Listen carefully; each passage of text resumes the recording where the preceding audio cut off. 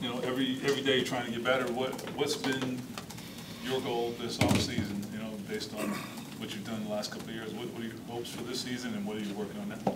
Um, so for me, just just continuing to build on special teams, uh, as well as being a wideout as well. Um, that's the facet of the game is, is, is being well rounded in everything that I do, and just trying to help the team.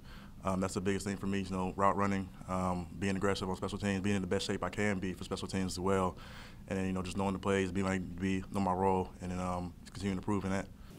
Ashton, how is your route running um, compared to, we know how big you are, we know how fast you are. It's, uh, it's hard for us to know how good your route running is really. What, what do you think and what do they tell you about it? Uh, yeah, just continuing to improve. Since my rookie year, um, you know, I didn't really know a lot coming in from small school, but uh, now I think being around veterans like uh, ZP and uh, TY, those guys have taught me a lot as far as being able to be under control, know how to run routes, um, and being able to get in out of my breaks, and um, just just being a competitor. Um, I think that's the biggest part of it, and, um, and just taking in as much as I can from those guys and continue to build on my game.